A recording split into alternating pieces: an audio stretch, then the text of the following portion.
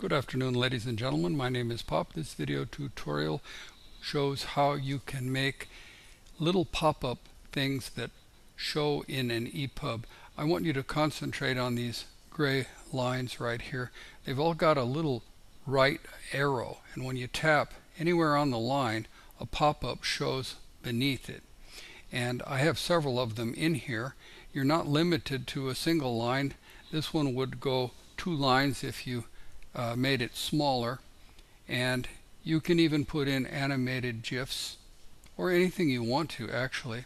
For that matter, you can put lists in there. You can see right here there is a list. Uh, they all stay open even if you open the next one and the next one or all of them. There's another way that you can get rid of them, of course, if you uh, want to. You can just go to the very next uh, chapter and when you come back they're all closed. So let me just zero uh, zoom in on this a little bit and you can see it better and uh, I'm going to go elsewhere and show you how to make these. You can change the color of the arrow and so forth. Uh, let me go to the Calibre program, the main one here and I'm going to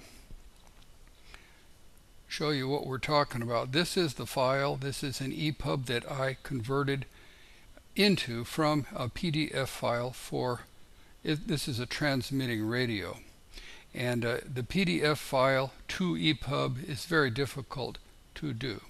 After having done it I wanted to use the advantages of an EPUB. This will open up the editor itself and this opens up the reader. Well, I've got the editor open, so let's just go to the, the editor itself. And you can see the same thing is right here. Trouble is, in the editor, when you tap on it, it doesn't work in the editor.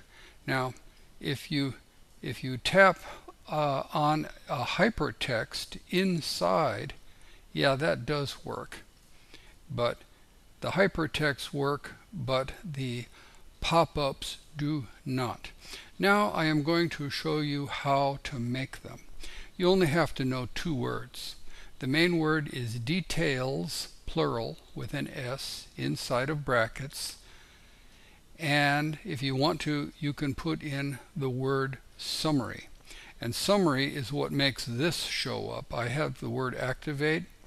The word activate is bracketed in between summary and close summary. If I don't do that, it just says details.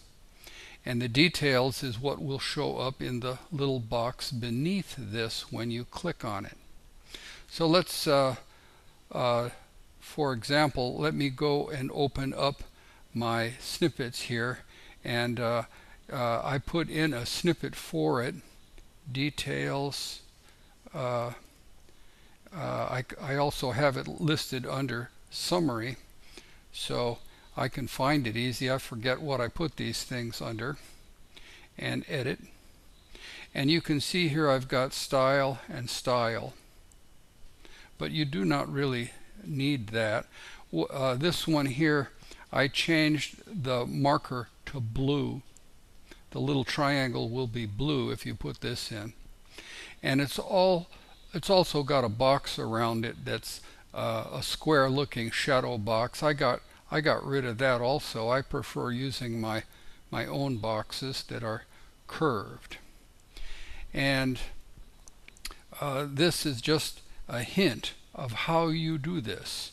You've got details on the outside and this is what pops up.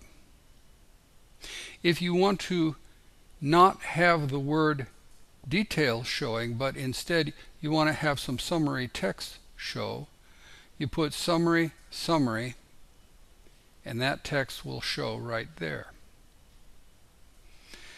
Now, let me close this, and we'll do one. Uh, let's just go somewhere. Uh. Chapters are alphabetical. I'm just going to go above it and I'm going to put in uh, a, a list li okay so now I'm going to have this bullet pop up. Now I'm going to put in the word details.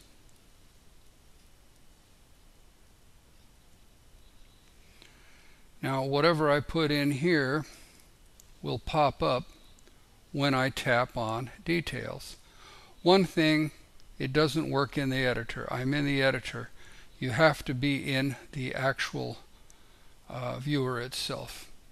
If I want to put in something else besides the word details, I have to put in the word summary.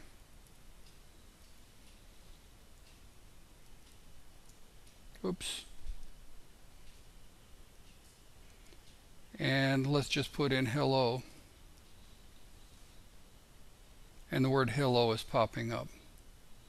While I'm still over in the editor, let me go to the style sheet and I'm going to look up the word summary.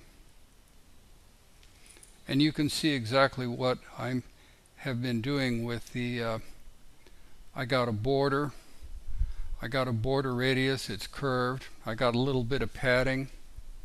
And I said light gray and I said what kind of font it's the same thing I use for all of my little boxes I just happen to like it doing it that way now I'm going to hit control S I've saved it. Now I have to go back to the main Calibre program and open up the EPUB again. Takes a second. And let's see if I can enlarge this and if we've got anything. There it is, hello. And then I go pop up. And that's it. Uh, in the next uh, few uh, videos I'm going to show how you can make links and uh, these are hypertext links that go inside of your book. They don't they're not external. My name is Pop and I thank you very very much